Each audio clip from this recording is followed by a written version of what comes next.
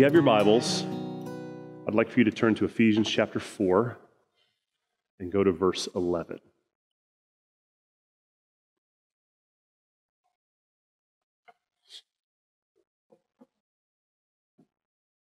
As you're turning there, I'll just give you a quick recap. We just finished our 17 week study on the book of John last week. And one of the big things that we took away when we left that book was John's desire to get us to understand who Jesus was. That was a big reason why he wrote, but also so that our belief in him will change our hearts.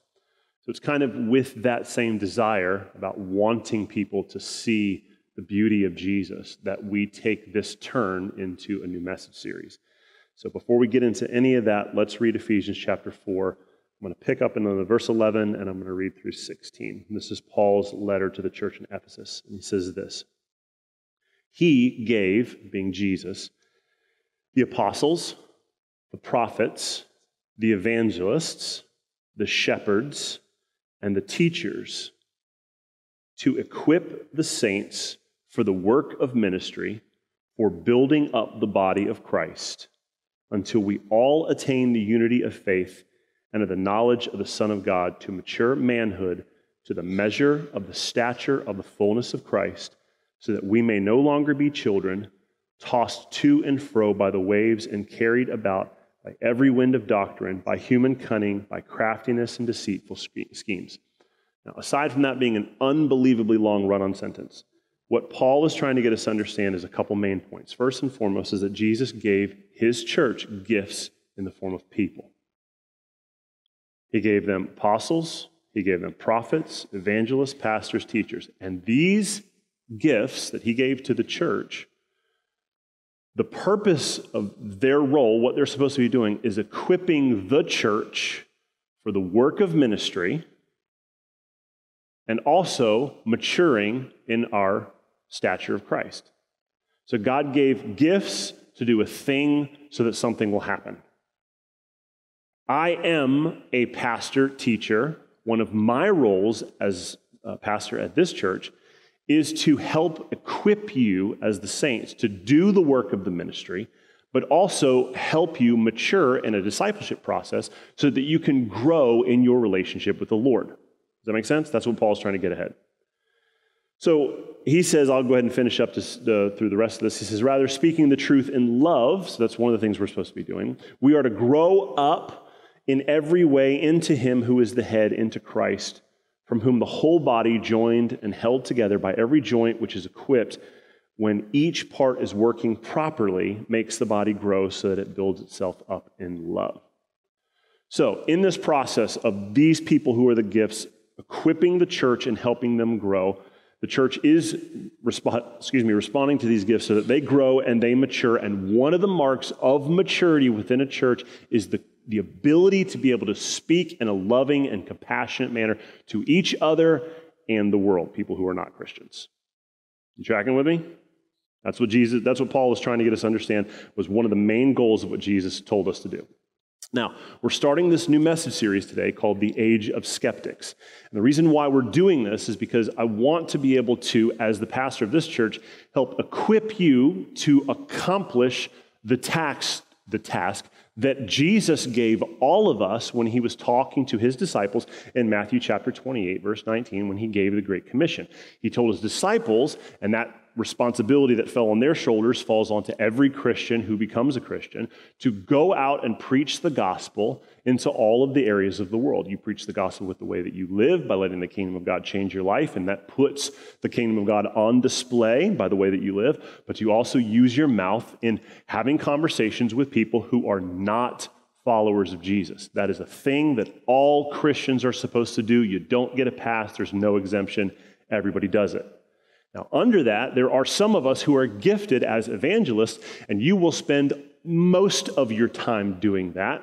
Um, missionaries would fall under that. There is a, a, mandate, a responsibility that falls on your shoulders where you do that the majority of your time. But for the just average run of the mill Christian, you'll have a responsibility to, first and foremost, grow in your maturity with Christ within your church, within your own life, within your own family, but also Find ways to share what Christ has done in you with this world. That's everybody. Nobody's exempt. That's what Paul is trying to get us to understand. So, if that's a mandate and it's on all of us, I have a responsibility as a pastor to help equip you in this weird time that we live to fulfill this mission because the message doesn't change. Jesus still was the ransom for our sins. His blood paid the price for our sins. That is still the message. It will always be the message. Without Jesus, you cannot get to God. Without Jesus, you spend eternity in hell. Now, the gospel message is that in God's grace, He sent His Son in order to be the stand in because you can never be righteous enough. So when you stand before God, He doesn't see your righteousness, He sees Christ's. That's the gospel good news. But in this world that we're living in, it's very difficult to talk about that for a couple of different reasons. One of the reasons is that in this world that we live in, we are convinced that what we see here in Tallahassee and in Florida and America is a good representation of what's happening in the rest of the world, and that's not true. There was a Pew study that was done um, in 2016 that shows that four out of every five people in the world say that they have some understanding or belief or conviction that there is a God and that He is in control and all powerful. That is four out of five people in the entire world. But when you drill down into America, 25% of adults, no matter what the age, say that they have no belief in God whatsoever. And when you start drilling down into the age group and you just account for millennials, which would be people that were born right around 1981 up till about 1996, so they're somewhere in their 20s, 30s, late 30s. 35% of millennials say that they have no association with God whatsoever. They don't think that He is real. They don't think that if he is real, he plays any real part in the world that we live in on a regular basis. And then there's another part of them that just say, well, we don't know. There's not enough information. There's no guarantee. We can't be sure that there is a God. So the Pew study went ahead and took that association, those 35%, and put created a new category for them because that's what we do as humans. We create categories for people because it's easy for us to figure out who's who based off of whatever you believe. And they gave them a new name. And the group, that group is called the Nones, which is funny because immediately you're probably thinking like black and white, N U N, not that, N O N E S, nones. The reason why they say that is because when they're asked in these studies, what is your view of God? Do you have any religious affiliation? They always mark the box that says none. I have no religious affiliation. So that's where we live. In most of the world, the concept that there is a creator is very real in, in most of the people's minds, but um, almost like over a quarter, um, coming quickly up on a half of at least the 20 to 30 year olds in America operate with the understanding that there is no God, or if there is, he's not interested in any kind of personal relationship with us. So, we have uh, in our mission field where we're meeting on a regular basis this group of people that represent a large portion of where we live called the nones. These would be people that would be atheists, they would consider themselves agnostics, they'd be considered people who have no religious affiliation whatsoever. But outside of just the nones, there's also two other groups of people that you're going to meet in your mission field on a regular basis. The nones, but also there are the hurt people who have some understanding of the kingdom of God, or maybe they have been involved in church, but they have been hurt in church and they don't want anything to do with church. And so they're hurt and they're not associated with any uh, Christian church currently. And then outside of the nones and the hurt, there's the skeptics. The skeptics are the people who like to pull apart everything and they have a very hard time understanding uh, or, or resting their faith in any religious structure or the idea of a God or the fact that this Bible that we say is true, how can you actually know that it's true? So these three groups represent a large portion of the majority of the people that you will meet in your mission field here in Tallahassee and the surrounding area on your regular basis.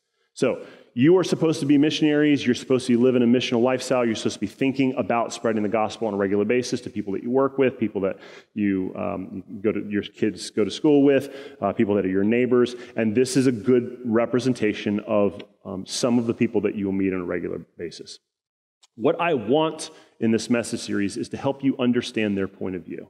Because in your maturing up into the stature of Christ, one of the things you're supposed to be do, is doing is um, learning how to speak in love and eloquently and honestly about the kingdom of God uh, in a way that is full of compassion uh, and your desire to be able to spread the love of God to these people. And often we don't have those opportunities to learn how to do that, which is one of the reasons why I want to do this. I want to equip you to be able to speak logically and lovingly to the people that God has sent you to. How do we know God sent you here to these people? Because this is where you live. If He had sent you somewhere else, you'd be living somewhere else. Paul tells us in Acts that God has ordained all the times in the history of the world and all the places that everybody lives. So you're here not by chance or by accident. God established you to be at this period of time in this city for this reason. So I want to equip you to be able to talk eloquently and logically and lovingly to the people that God has sent you to. So, in the idea of dealing with skeptics and people who um, are hurt or have no religious affiliation, I want us to constantly remember Romans 2 4, which says that it is the kindness of God that leads us to repentance. That is, that's like, that's the salt that I'm going to put on top of this meal so it's got some seasoning. It's not the main course, but it's the thing that we constantly have to come back and touch on. It is the kindness of God that leads people to repentance, not your posts on Facebook that lead people to repentance. Okay? Not your snarky comments, not your bad attitude, not your um, display of lack of self control when you were in that store and so rudely said, I want to see the manager because you're not getting your way. None of that stuff leads people to repentance. It is kindness from heaven down here and from here outward that leads people to repentance. Amen? So, in every conversation, it's not about being right. In every conversation that you have, especially with a non believer, it is not about getting them to that point where they finally bow their heads and close their eyes and say that prayer and you've sealed the deal and you can move on. That's not the goal. The goal is kindness because kindness leads to repentance, and repentance is the mark of a Christian. The mark of a Christian is not someone who said some prayer. That's nowhere in the Bible. In the New Testament, saying a prayer is not the mark of, all right, well, now we're Christians. Baptism was the thing that the disciples chose as the turning point for when you say that you're a Christian. Now, I have no problem with walking somebody through a prayer of saying, All right, you're going to confess the Lord Jesus and believe in your heart. I have no problem with confession, faith, and, and, and having somebody walk through a prayer. But we have lied to ourselves that the end goal is just getting somebody to say those words and then they're good. That is, that is not a representation of the Christianity that Jesus brought. It's a representation of good tent revivals where we are getting thousands of people to come down, but there's no follow up on whether they've actually done discipleship process and been converted. And I'm worried that at the end of the age, there's going to be hundreds of thousands of people standing before Jesus saying, But we called you Lord, Lord. I said a prayer. And Jesus is going to look at them and say, Depart from me, you worker of iniquity. I never knew you. We have a responsibility to not muddy the water and make it confusing for people to understand what it means to be a Christian. One of the cornerstones of it is repentance. I'm turning from where I was to this more beautiful thing called Jesus and his kingdom. And I want to make that clear. And the Bible tells us from Romans that the way that happens is the kindness of God that flows down into us and then out into others. And kindness comes out in our words and our deeds and how we treat people. Got it? Good. All right. So here's our plan for the series. Today, we're going to discuss the nones, the hurt. Every time I say nones, it makes me want to giggle. We're going to discuss the nones, the hurt, and the skeptic. Next week, we're going to talk about ways to build relationships and serve our city and love with compassion and uh, show kindness where we live. And then the final two weeks, we're going to walk through a process of answering common questions that have been asked of Christians and giving responses so that you guys can start understanding all right, I've, I've gotten this question multiple times and I don't know how to answer it. Hopefully, we're going to cover some of those things. Cool? That's the purpose of this message series. We're going to go through the end of May, and when we start the beginning of June, we're going to jump into the book of Judges. So let's talk about the atheists, the agnostics, and the nones. First and foremost, let's talk about who they are. The atheists are people that, that would say that there is no God. They have no um, belief in any kind of higher power, that when you die, that's it, that's the end of your story. There, this is everything we see, that's it. There is no uh, God, there's no spirit, there's no outside influence. What you see is what you get. Agnostics would be people that would say, um, uh, It's not that I don't have no faith, and it's not that I don't believe in God whatsoever. I'm kind of in the middle, and I'm saying that maybe God might be real, but there is no way for humans to be able to know that. That's agnostics. So the atheists are no, no, there's no God. Agnostics would say, well, we don't really know. I'm not taking a stance on that. There's no way to know that there's not or there is, and so I'm right here in the middle. And then the nones would say that these are people who say, look, uh, maybe there is a God, but it is completely irrelevant to me. Religion has no impact on my life. It's irrelevant to where I live and what I'm doing. I don't give it much thought. Um, it's just not a thing that crosses my mind on a regular basis. That's the group that we're talking about. So in that group, um, I thought it would be helpful to talk about one of the largest critiques from that area, from people who say there's no God, or we're not really sure, or I don't really want anything to do with religion. Um, there's a Pew Research study in 2018 where there's about five or six things uh, based off of percentages that the, this group of people would say are their biggest critiques or issues with Christianity. But I took the top one and we're going to discuss that because it really influences a lot of the other ones. So the biggest critique from this group of people are Christians are too exclusive to people who are different. Have you heard that? I don't want anything to do with Christianity because you guys are too exclusive to people who are not like you. You're not loving enough, you're not welcoming enough. Now, that critique does come from some of our, um, our past, some of which, which I would argue is not actually our past, because people who are doing things like murdering others in Jesus' name, they don't actually understand Jesus. And so I, I wouldn't classify them as part of our family, even though other people would like to do that.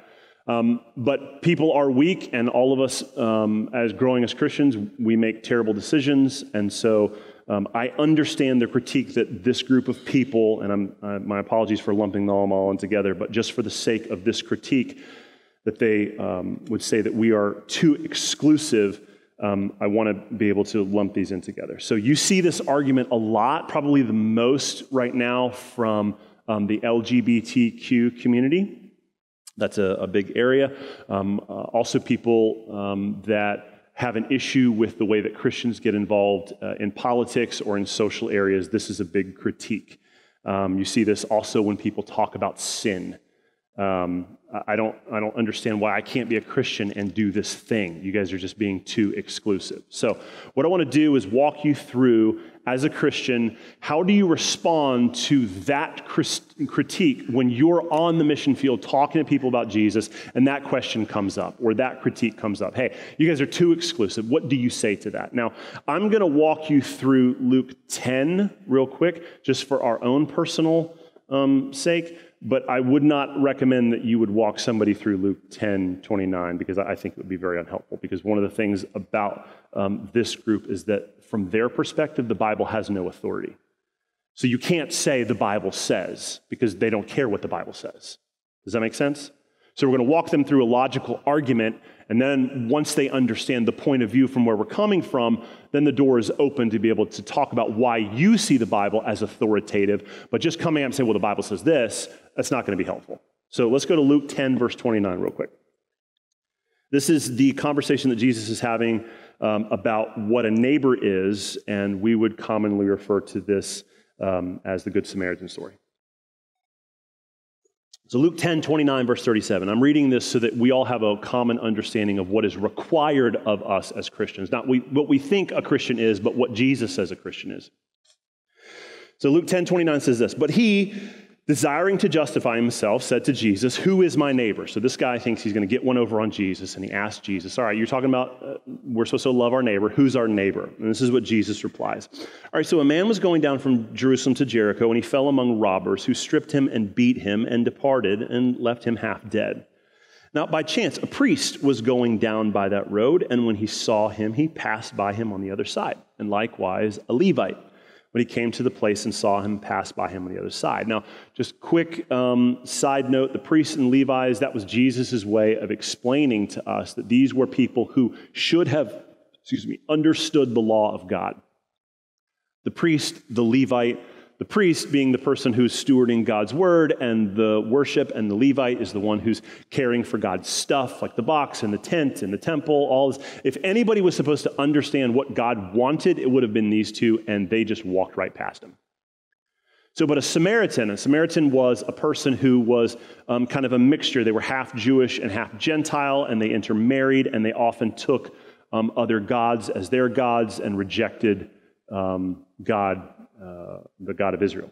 So, this Samaritan, this person who everybody was not really um, interested in, as he's journeying, he came to where he was and he saw him and he had compassion.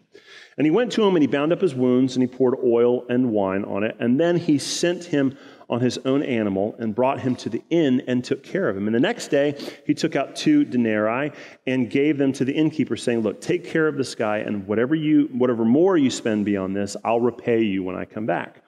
Which of these do you think proved to be a neighbor to the man who fell among the robbers? And he said, The one who showed him mercy. And Jesus says to this, Go and do likewise. So, what are we supposed to do as Christians? We're supposed to be like that Samaritan. We're supposed to show mercy. We're supposed to go beyond the, whatever the world would say. This is the least, that this is, at, at, least this is the baseline that all humanity we should operate at. Um, Christians should go far beyond that. That's what Jesus is saying. We should stand out because of our mercy and our compassion, not because we shout louder than everybody else. You follow? So, Christians should be people who love and care for their neighbors. Neighbors are who? Neighbors are everybody. This is the beauty of it. Neighbors are everybody, meaning Christians and non Christians. So, Christians, according to Jesus, are supposed to treat everybody, whether you're a Christian or not, with the same level of love and mercy and compassion. We treat everybody with love and mercy and compassion, no matter where they are or what they believe. We operate with the same mercy and compassion and love with everybody because everybody is our neighbor. That's the baseline. Get it? Now, the issue that this group takes is not necessarily how we treat uh, Christians, but how we treat non believers, which is the reason why I wanted to read this. So, the, the issue that they bring up is not um, uh, so much of an issue of, of how we're treating people, but that's how we're going to circle back around to it. But it's how we treat people who are outside of the group. And from their point of view, they're saying we are um, too exclusive for letting them become a part of our clubs. We're saying, okay, you Christians, you, you, you may be nice and kind to everybody, but if I want to be a part of your club, you're being too exclusive. That's the main argument. You follow? So here's how we're going to break this down Jesus is setting the boundaries for what a Christian is through most of the book of John and the Gospels. And he makes it very, very explicit that it is exclusive to be a Christian. If you want to be a Christian, it requires great things of your life. So there's no argument there. And I understand how people would have an issue with that. It's too exclusive to become a Christian. Yes, that is true. Jesus has set very specific parameters about what it means to be a Christian and be a part of this group and it's exclusive. You have to do these things if you want to be a part of this group. But here's the thing Christians are not any more exclusive than any other group in the world. Are you following me? This is how you're going to walk them through the understanding. If the argument is you guys are too exclusive, you admit, you admit, yes, we are exclusive, but we are not any more exclusive than any other group in the world. Christians are not, we don't have the lock and we're not unique on the idea of being exclusive. Let me give you a case example. So, if someone who is a member of a local uh, LGBTQ community, maybe they're on a board or something, and they're heading up the responsibilities of this organization, and they make a decision, they, they come in one board meeting, and maybe it's the president, and he stands up and he says, Guys, I went to church this past Sunday, and I got saved. And I now believe that homosexuality, homosexuality is a sin and what we're doing is wrong. How long do you think that organization is going to let him stay the president of that local chapter? Not long. Why? Because as inclusive as we think and they think that that organization is, there are boundaries. The idea that there is a thing called um, uh, total inclusivity is a farce. It's not real. You following where I'm going with this? So, if we can understand that the, if, if we want the goal to be completely inclusive, no group on planet Earth does that. That's not a thing that we can do. And the reason why it's not a thing that you can do is because the moment that a group loses their boundaries, they lose the identity of being a group. That's the reason why they are a group, because they have boundaries that set them apart from everyone else. And the moment that you ask a group to say, I need you to drop what makes you exclusive, that's no longer an organization. They have lost their identity. You follow where I'm going with this?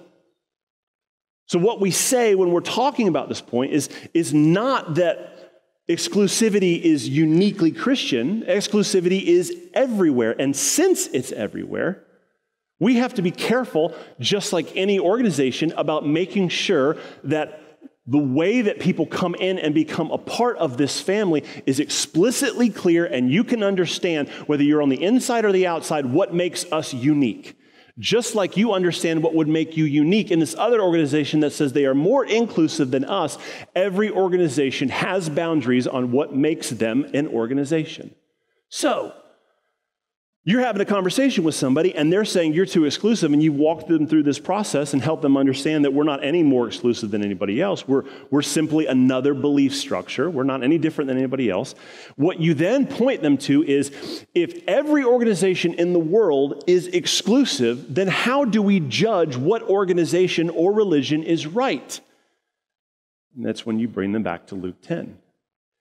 Judge a group based off of how they treat people who are not part of the organization. And according to Christians, we have a responsibility, whether you're in or out of the family, to treat you with compassion and with love and with respect. And if Christians did that, if that was our mandate and we actually followed it, then that would be something that we can point the world to. And I would encourage you to point the world to. Don't judge us on how we treat people if they're in or they're out and how they get in, because that's what every organization does. Judge us how we treat those who are not part of the organization. So, the argument of Christians are too exclusive boils down to the idea that, yes, we are exclusive, but not so exclusive that we are more exclusive than anyone else. So you can have that argument as a win. You are right, we are exclusive, but don't judge us on our exclusivity. Judge us how we treat those who are not part of the family. And I promise you will not find a group or an organization that is more loving and compassionate than Christians if they follow what Jesus told them to do. You tracking with me? Good. Now, keep in mind, I said this earlier, but I feel like it's an important footnote. If you're taking notes, write this down. Keep in mind that for atheists and for agnostics and for the nones, the Bible holds no authority. You cannot say the Bible says because they don't care what the Bible says. So you can't walk through this process of saying, well, like, I believe this because the Bible says so. It is more helpful when you're talking with these people to walk them through historical facts of things that actually happened. So we're not saying things like the Bible said so. We're saying um, John, who wrote a book uh, about Jesus, he watched Jesus die and then later, just about 10 days later, uh, had breakfast with him on the beach. Not the Bible said so, but Luke, who was not there when Jesus was around, but was a doctor and went around and interviewed all of the eyewitnesses when Jesus was alive and took meticulous notes and submitted his report to the Roman authorities. I'm trusting his eyewitness account. The same way I would trust somebody who is sitting on a witness stand and I'm in a jury box and I wasn't there at the scene of the crime, but this person was. And so I'm going to trust their word as fact. I'm not saying the Bible says so. I'm trusting the word that Paul, who hated Christians and made it his life journey to kill them, was then converted and spent the rest of his life traveling around the Mediterranean rim, giving his life up for this cause. I'm, I'm not just trusting that the Bible says so, I'm trusting the fact that historically these 12 guys who followed Jesus for three years at the end of their life Almost all of them were hung on a cross or burned or fed to lions or killed or martyred in some way, and not one of them, even to save their life, said, I don't believe that Jesus is God. Not one of them turned their back. And I'm not just trusting the fact that the Bible says so, I'm trusting the historical fact that a group of people went against the entire Jewish temple structure and the entire Roman Empire of their time and it has not slowed down one bit to 2019, and it's the reason why we're all sitting in this room today. You follow? So, when we're talking about people who struggle with faith and they don't believe in God, that's how you logically walk them through. Christians are not any more exclusive than anybody else. And the reason why we believe what we believe is not just because the Bible said so, is because there's also historical facts that root what the Bible says in history. And so we can take that as fact. Now, let's talk about the hurt. Who are the hurt? The hurt are people who have some church experience, but whatever experience they have, it's full of abuse and they've been taken advantage of in church. People who are hurt are people who have been abused by church leadership or taken advantage of by other people in the church. And they, they don't necessarily say, I don't believe in God. What they say is, I don't want any part of his church which is dangerous because Jesus is pretty clear about what the church is supposed to be. It's, it's his bride. He cares for the church in a way that a husband should care for his wife. That's how much Jesus loves his church. So when somebody is hurt by the church, we have a responsibility to be able to, to care for them in a unique way because Jesus wants that person back. Does that make sense? So, what do they believe? Most of them operate with the belief that all churches are the same and their goal is eventually to hurt them. They rely on their previous experiences and they say, This is what I know, this is what I've experienced, and I'm confident that it's going to continue moving forward, and so I don't want any part of church moving forward. Now, let me walk you over to 1 John 1 8 through 10. This is how we're going to respond to people who are hurt and how we love them. 1 John 1 8 through 10 says this If we say that we have no sin, we deceive ourselves and the truth is not in us. If we confess our sins, he is faithful and just to forgive us of our sins and to cleanse us from all unrighteousness. But if we say we have not sinned, we make him a liar and his word is not in us. So when you're talking with somebody who said, nah, I've had enough of church, churches are full of hypocrites and all they do is hurt me, what do you say? You tell them they're right. Why are they right? Because all of us, according to John, still are working through the process of sin, and no one is there yet. You are not going to find a church with people who are not still right in the middle of the discipleship process, and sometimes they get it wrong. Not because they're wolves in sheep's clothing, but because they're immature children and they're still growing and they make mistakes. I'm telling you now, as your pastor, if I haven't upset you or made a mistake yet, just give me a little more time. I promise I'm going to get there. Because, because if I say that I don't have sin and I'm not there, and you're going to be fine here, that you're not going to have to find something to just work through and get over and be okay with, then I'm lying to you. We're all right in the middle of our transformation process, which means God is going to put you in a seat right next to somebody who votes differently than you, that thinks differently about you than stuff. Their, their, their finances are different. And, and God wants you to get so close to them that you start rubbing together and you both are transformed by it. If you are a part of a church where everybody looks like you, guess what you're going to end up looking like? You.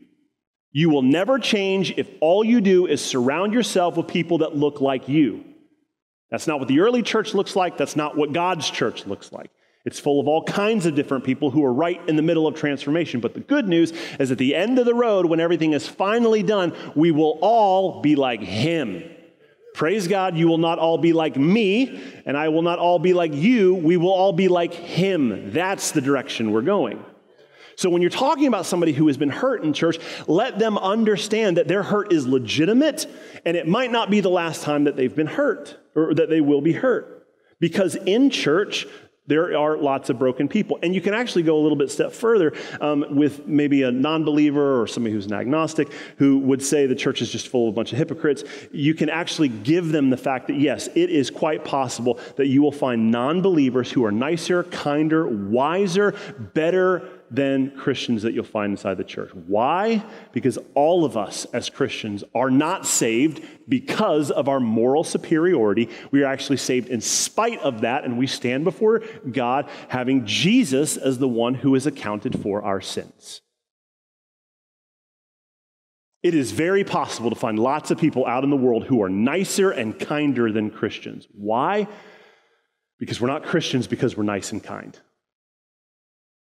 We're Christians because he saved us when we were not nice and kind. And that's the good news.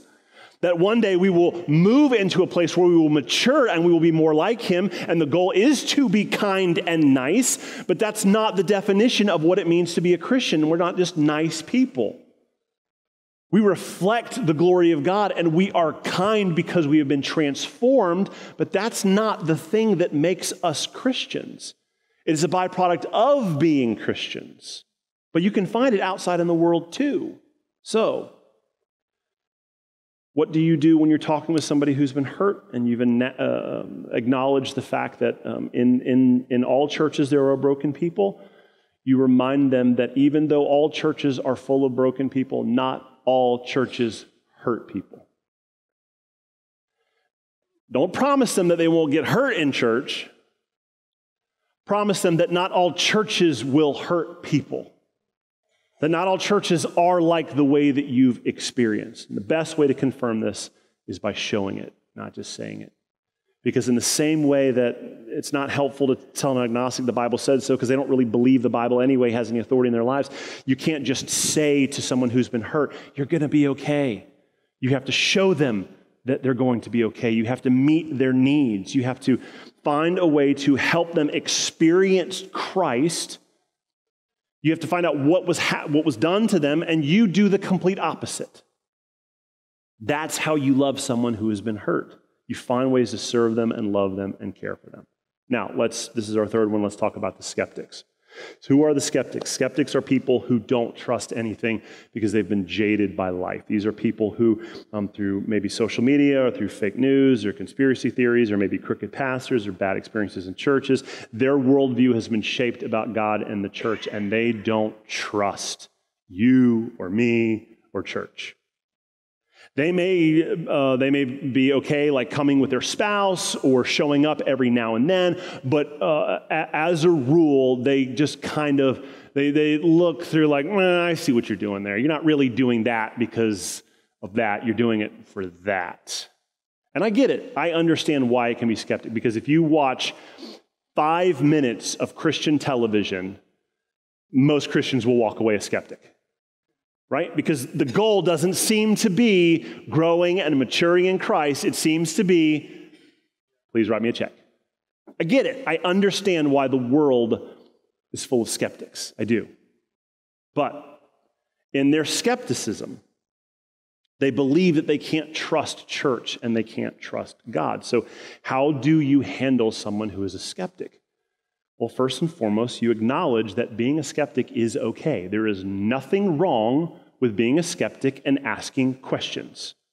Let me go to Acts 17, verse 10 through 20. This is on one of Paul's missionary journeys. He goes into a town called Berea and he preaches the gospel to these Bereans, and their response is not, Whoa, all right all of them go home and study what Paul said and then come back later the next day with a, with a um, well thought out response to whatever Paul said. This is um, Acts 17 10 through 12. The brothers, immediately after Paul and Silas had preached them, um, uh, excuse me, the brothers immediately, uh, Paul and Silas went to Berea, and when they arrived, they went into the Jewish synagogue and they started preaching.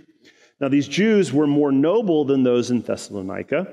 They received the word with all eagerness. They were real excited about what they had to say, but they examined the scriptures daily to see if what they were saying was true. There's nothing wrong with being a skeptic. There's no, nothing wrong with asking questions. There's nothing wrong with listening to me preach and then saying, I don't know if that's true or not. I'm going to go home and read it for myself. Good. That is the best thing you possibly can. Never take something I say as, well, he said it. Who am I? I'm a nobody. I'm just a dude who shows up on Sunday and preaches this word. I have no authority in your life. Who has authority in your life? Jesus has authority in your life. If he says it, then you can take it to the bank. What do we judge what we've heard against? The Bible, the historical record of people who were living 2,000 years before we ever showed up on the scene. So it is a good thing to be skeptical. It is a great thing to hear something and then go back and check it to see whether it's true or not. Jesus did the same thing with Nicodemus in John chapter 3. Nicodemus shows up in the middle of the night. He's got a bunch of questions. And Jesus doesn't look at him and say, Man, I'm Jesus. How dare you ask me questions? Look at me. I'm God in flesh and blood. What do you think you are asking me questions? That's not what he does. he sits there and he has a conversation with Nicodemus and he explains to Nicodemus about being born again. And it blows his mind, but he has conversations with him and he explains things and he expounds upon stuff. The problem with being a skeptic is not being a skeptic, it's being too skeptical of everything. And that's what you have to walk a skeptic to. There's nothing wrong in the kingdom of God of being skeptical about some of this stuff, but if everything in your life, your desire is to see through it, then you never actually see anything in your life.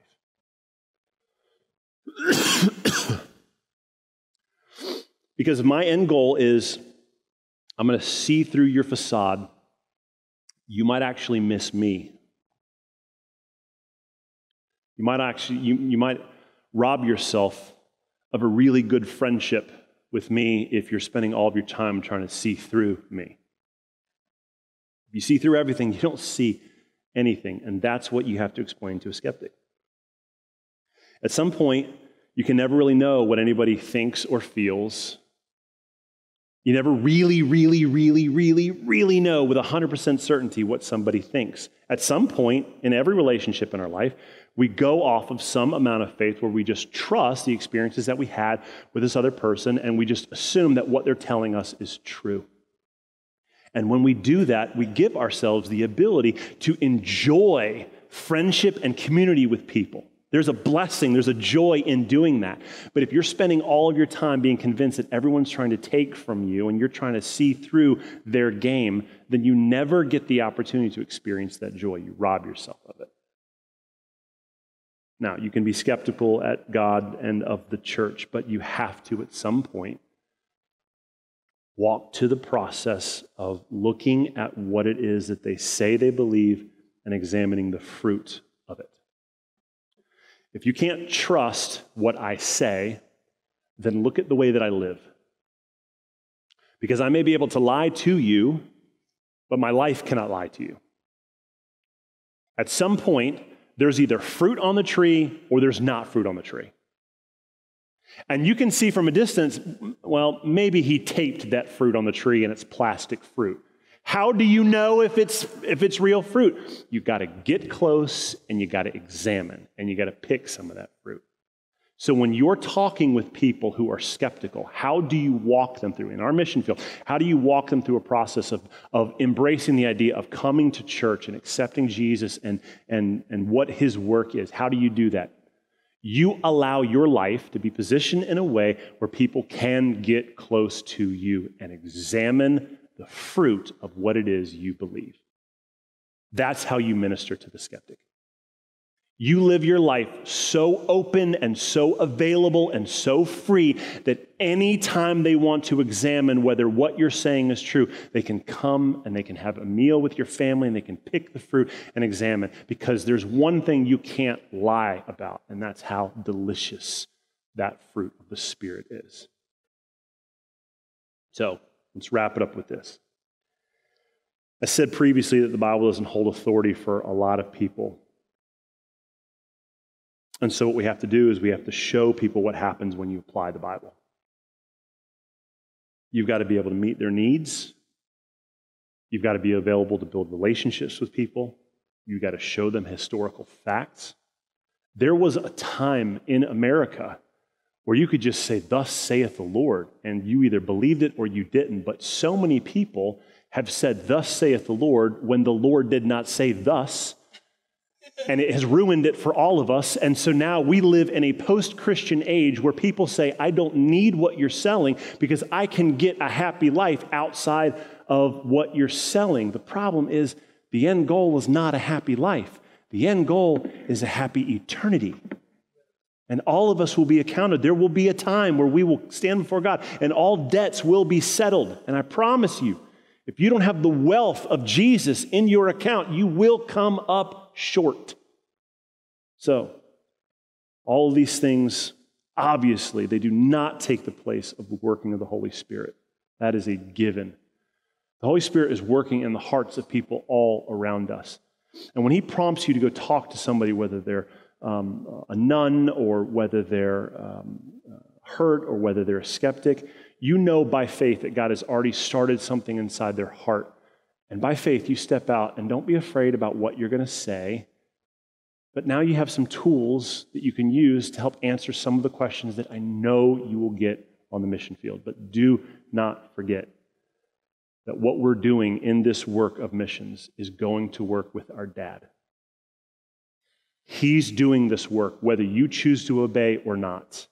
He's calling people from the four corners of the earth. And he desires for you to go to work with him and for you to take up the mantle and respond and say, God, uh, you're calling him, use me. Let me tell him about your kingdom. That's what evangelism looks like. Us partnering with the work that God is already doing and I want that for you. So as we leave today, my prayer is that you use these tools to do God's work, but also you season your life with prayer. God, use me. Amen? Let's pray.